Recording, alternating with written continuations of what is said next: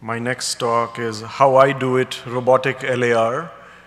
Uh, whenever I give a How I Do It talk, I remember a, a case I was doing. I was a PGY2 and it was a lap chole being done by a very senior surgeon, and there was a medical student. And it was a mess. It was a bloody mess. I mean, that was, it's one of the worst lap choles I ever saw. And at the end, he turns around to the medical student. He's like, Have you ever seen a lap chole? And he was like, No. He's like, That's how it is done. So, so uh, I have no financial disclosures. This is just a technical description, and I'll show you a video of, uh, of how I do it, uh, of uh, key uh, steps. Port placements. I place a Hasson trocar at the assistant site. This may not be what most people do because there is a robotic Hasson port available. But whenever I use it, for some reason, I get an air leak. So I use a, a balloon Hasson at the assistant site, and I use the four robotic ports in a straight line perpendicular to the target organ, which here is the rectum.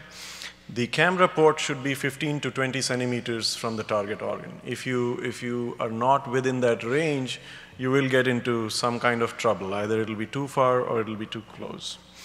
The rightmost port, the robotic port, you can start off with a 12, and I use a 5-8 cap on it.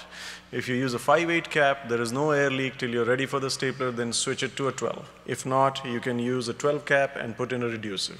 That's uh, up to you, but I, I find air leak to be the most frustrating thing for me, so I use a 5-8 cap. Ports are placed 8 to 10 centimeters apart, as in any standard robotic operation. So that's a port placement. You see, I put the Hasson, Balloon Hasson, to establish entry at the assistant site and four ports. The patient, it's very important, like I think Dr. Stocky said in, in one of his obesity talks, to be there when the patient is being secured and positioned.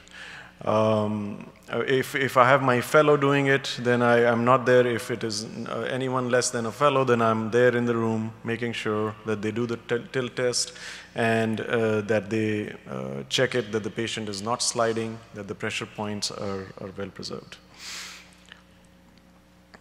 I dock the robot over the left hip with the XI. You can dock it wherever you like. So this is what the robotic screen looks like when you have uh, the patient in position. This particular patient was in 24 degrees Trendelenburg, 11 degrees right side down, the camera 30 degrees down. I use a, a um, uh, 30, some people use a zero.